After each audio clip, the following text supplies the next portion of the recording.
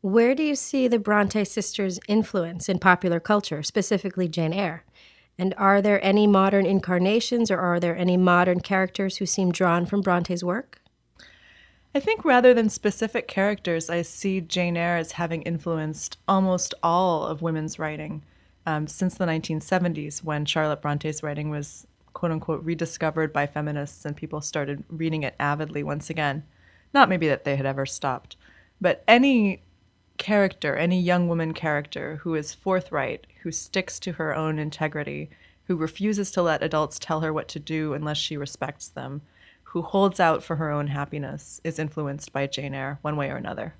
Of the three sisters, Anne Bronte is perhaps the least popular, and in the Bronte sisters, we have published her best known work, Agnes Grey.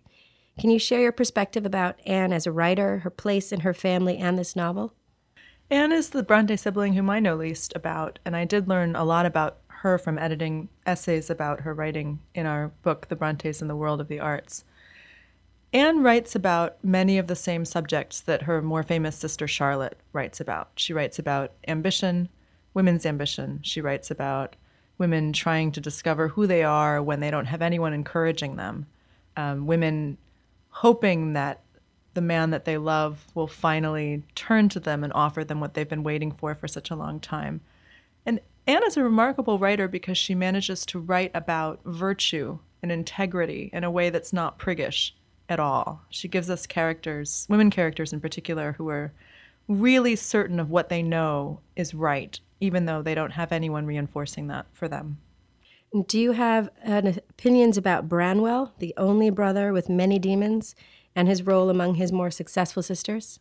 Branwell is a fascinating enigma. He did not develop his talents to the same extent that his sisters did, although family resources were much more invested in his training, especially in the visual arts. It's sad to consider that Charlotte badly wanted to be trained as a visual artist to a professional level, and she didn't have access to that kind of training, but Branwell did. He painted in oils. Um, he trained to be a portraitist, and many of his efforts at portraiture we still have, along with many of his efforts at writing.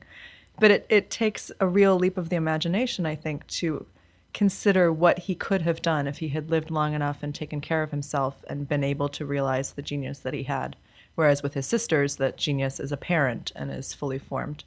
For students and readers who love the Brontes and their works, what are other classics that you enjoy teaching along with them? I think it's wonderful to contrast the Brontes with their contemporaries with Dickens, uh, with George Eliot, who came a bit later in the century, um, but also to think about how the Brontes' depictions of women writers influenced later authors such as Virginia Woolf, who wrote very intelligently about both Charlotte Bronte and Jane Austen. I've asked this of you before. The question we always consider in the office is what makes a classic? From feedback from your students, how do you think they define a classic? I think if they were to put it into words, they would say a classic is a book that reaches out to them across the miles, across the years, and makes them keep on reading, makes them keep on wanting to know what's going to happen to a character they care about, and makes them think differently about themselves. None of my students imagine that they could put themselves in Charlotte Bronte's place or that they really know what it would have been like to be a real woman in 1847 but they all feel connected to Jane Eyre in some way, as if she embodies an aspect of experience that they recognize in themselves.